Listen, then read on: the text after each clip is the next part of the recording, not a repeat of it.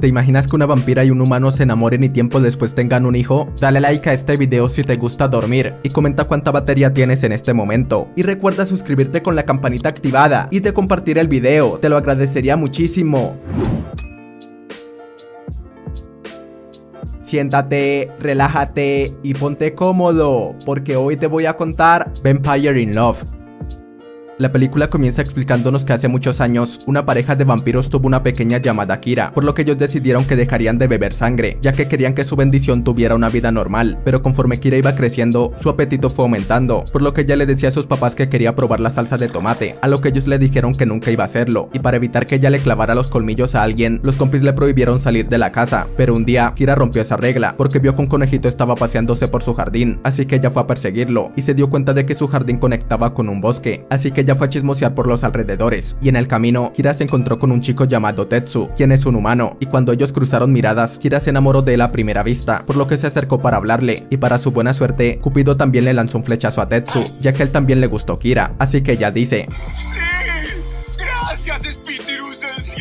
Tetsu lleva a Kira a una casa del árbol que él había construido, en donde le dice que su sueño es ser un cantante muy famoso, y al escuchar eso, Kira se emociona por él y le dice que siempre lo va a apoyar en todo lo que haga, y mientras Tetsu estaba guardando unas cosas, a Kira se le chispotea e intenta darle un mordisco, pero en eso, una manada de murciélagos los ataca, por lo que Kira le mete el super turbo para regresar a su casa, en donde ve que sus papás se fueron al más allá, porque un vampiro malvado les dio matanga, así que el abuelo de Kira llamado Sojiro va a rescatarla y le dice que deben irse a un lugar más seguro, lo cual le rompe el corazón a Kira, ya que sabe que nunca más volverá a ver a su galán.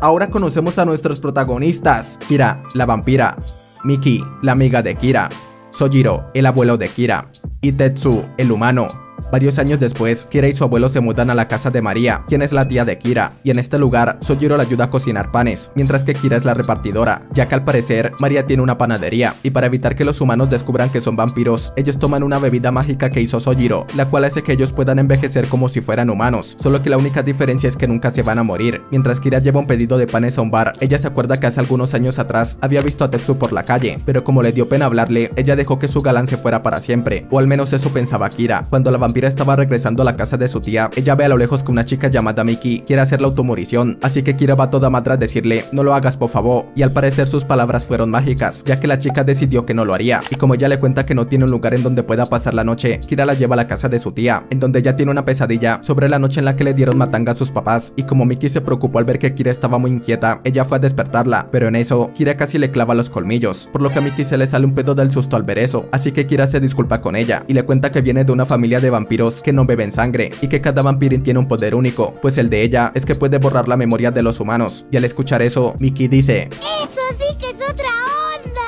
Kira le pide que no le diga a nadie su secreto, ya que si lo hace, tendrá que borrarle la memoria, por lo que Miki dice, tranquila, tu secreto está a salvo conmigo, y como a Miki le gustan los vampiros, ella le dice a Kira que va a tomar nota de todas las cosas que ella le cuente, ya que quiere hacer un manga basado en su vida de vampirín, así que Kira se emociona, y le empieza a contar que a los vampiros no les hace daño la luz del sol, y como Miki le pregunta que si pueden envejecer, Kira le dice que sí, y le explica sobre la poción mágica que hizo Sojiro, y después de haberle contado de todo sobre el mundo vampirín a Miki, Kira le dice que está muy feliz de por fin tener una amiga que la acepte tal y como es.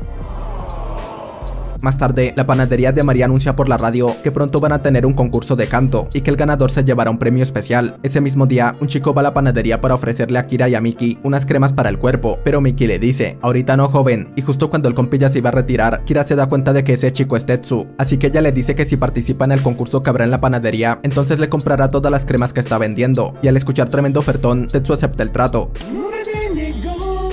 Después de que Tetsu se marcha, Kira se pone tan feliz que hornea una galleta de panda y por alguna razón mágica la galleta cobra vida y le dice a Kira que es hora de volver a conquistar a Tetsu. Así se habla. Y al terminar de trabajar, las chicas van a dar un paseo por la ciudad cuando de repente Miki ve a lo lejos a su exnovio, quien ahora tiene otra novia, y como a ella se le rompe el corazón al ver eso, Kira le pide que mejor la acompañe a llevar un pedido al bar, pero al llegar, las chicas se dan cuenta de que el compi también está ahí, y para terminarla de cagar, Miki escucha que el hijo de la verdura está hablando mal de ella, así que Kira se molesta demasiado, y cuando el compi sale del bar, ella le hace Piki, y mientras él se queda viendo estrellitas, Miki llega por atrás y tómala, le dio un panazo en la pelona. Después de ese día, las chicas se vuelven mejores amigas, por lo que Miki empieza a trabajar en la panadería, y cuando es el día del concurso, el presentador le dice a los participantes que el ganador podrá tocar su canción en la radio, y que también se llevará unas galletas de un Vampi Panda, F por el pandita, se lo van a comer. Pobrecito.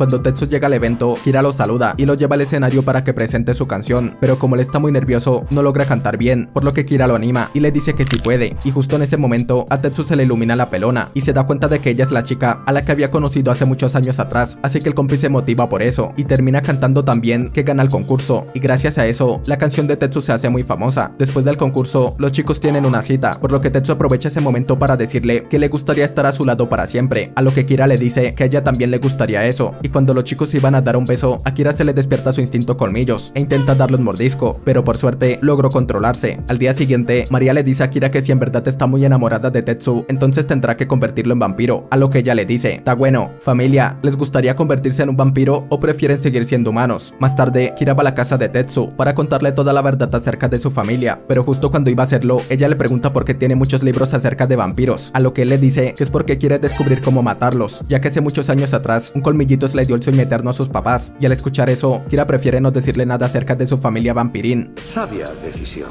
Y para cambiar de tema, Tetsu le dice que le va a cocinar un platillo que solía hacerle su papá cuando era pequeño, pero como su receta lleva ajo, Kira se desmaya por el olor. Buenas noches. Al caer la noche, Tetsu carga a Kira para llevarla a su casa, y en el camino, ella le pregunta que si la seguiría amando si se entera de que es una vampira, y como el compi le dice que sí, ella se emociona, y Piki lo mordió. Una mentira, solo había sido una pesadilla. Al día siguiente, Mickey conoce a un chico llamado Mike, quien le pregunta si le podría dar un recorrido por la ciudad, a lo que ella le dice, yes, yes, yes, claro que yes, y después de pasar unas horas al lado de él, Mickey se enamora del compi, por lo que lo lleva a la panadería para que Kira lo conozca, y cuando los tíos de Kira lo ven, ellos se emocionan, ya que el compi es el heredero de una cadena de hoteles muy importante del país, y cuando el compi ve a Kira, él se enamora de ella a primera vista, por lo que toma una rosa, y le pide que se case con él, pero al escuchar eso, a Mickey se le rompe el corazón, y le dice a Kira que ya no va a trabajar en la panadería. Más tarde, Kira sale con Tetsu para contarle lo que pasó, y en eso, unos murciélagos llegan a molestarlos, por lo que Kira se pone en modo vampira para proteger a su amado, pero cuando Tetsu le ve los ojos, él se da cuenta de que ella es una vampira, por lo que él se molesta demasiado, y le dice que ya no quiere estar con ella, ya que todo este tiempo le hizo creer que era humana, y como Mickey ve que su mejor amiga está muy triste, ella va a consolarla, y cuando las chicas iban de regreso a la panadería, a ella se le sale un pedo del susto, al ver que Mike es un vampiro, quien se quiere llevar a Kira a un lugar muy lejano, pero como Mickey no lo va a permitir, ella se le lanza como piojo, y Vicky le da unos cocazos.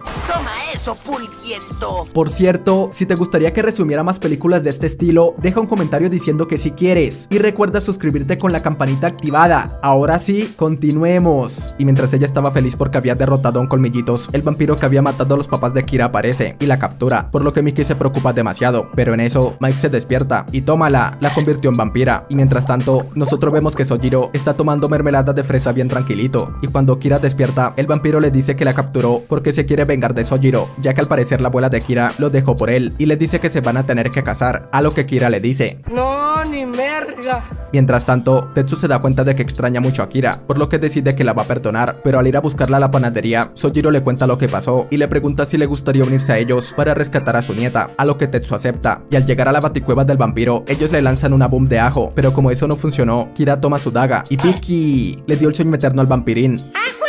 Después de todo el desmadre, Mickey se casa con Mike, ya que como él fue quien la convirtió, ahora tienen que estar juntos por siempre, literalmente. Y en ese mismo día, Tetsu le dice a Kira que está dispuesto a ser un vampiro, solo porque quiere estar con ella, pero como Kira no quiere convertirlo, le borra la memoria, para que no se acuerde de ella. Unos años después, Kira pone su propia panadería, mientras que Tetsu sigue con su carrera musical, pero como María sabe que Kira sigue muy enamorada del compi, ella la lleva a uno de sus conciertos, en donde la chispa del amor sale al ataque, y hace que Tetsu recuerde todo, así que Kira termina convirtiéndolo en vampiro, y después de que ellos se casan, los chicos tienen a su bendición, quien es mitad vampiro y mitad humano. Ay, qué bonito. Y así es como finaliza esta película. Espero te haya gustado el video. Agradecería mucho que dejaras un me gusta y te suscribieras para más videos como este. Comenta qué te pareció esta película y qué otras películas te gustaría que resumiera. Recuerda seguirme en mis redes como Facebook, Twitter e Instagram y de compartir este video. Gracias por ver y te espero en el próximo video.